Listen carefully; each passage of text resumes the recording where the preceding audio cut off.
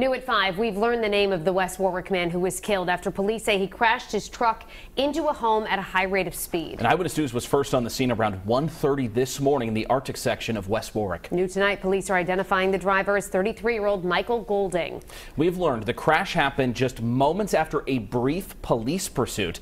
Eyewitness News reporter Kim Kalunian joins us now with the latest developments. Kim? Well, Stephen Shannon, we spoke with multiple eyewitnesses today, and they tell us they heard or saw that truck traveling at a high rate of speed in the moments leading up to that deadly crash.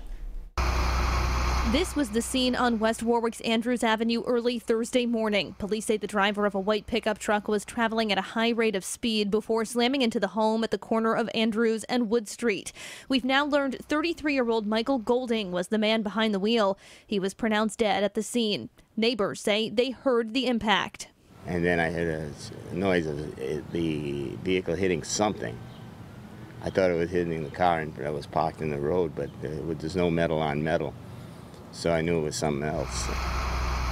We've learned the crash happened just moments after Coventry police called off a brief pursuit with Golding. As I was walking out of my house, I happened to see a car go flying by and there was a couple of cops. Coventry police say they spotted Golding driving erratically and at a high rate of speed near the intersection of Washington Street and Laurel Avenue. An officer pursued him for about a half mile to the West Warwick line. Moments later, this surveillance video appears to show Golding's truck speeding down Andrews Avenue. No one inside the home was hurt. The house has been condemned, and the five residents are now staying elsewhere. And police say excessive speed was a factor in this crash. Coming up new at 6, we'll hear from a friend of Michael Golding who's now remembering the 33 year old. Live in studio, I'm Kim Kalunian, Eyewitness News.